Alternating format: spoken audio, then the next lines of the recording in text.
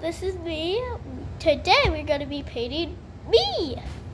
Like last video, we, sorry about that, but last video would be this squishy that I love now. And now we're gonna paint on myself, yay! This squishy. So let's do it now. First we're gonna make this pink color for the top. Let we do this, pause it. Finally we made the pink person. Look at her. So cute. Now we're gonna make the blue person. Can I pause it? Thank you. Now I'll show you the final result. Yep.